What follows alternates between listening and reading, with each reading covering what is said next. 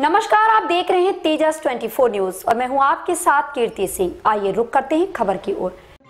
कन्नौज के boarding ground में Samajwadi party के कार्यकर्ताओं ने भाजपा सरकार के खिलाफ कड़ा विरोध प्रदर्शन करने के लिए एकत्रित हुए।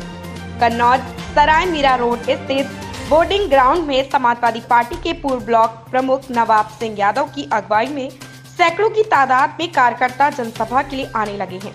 जनसभा की तैयारियों में सपा में नेता व कार्यकर्ताओं ने तैयारी में जुट गए हैं। वहीं सुरक्षा व्यवस्था के मद्देनजर भारी पुलिस बल भी मौजूद है।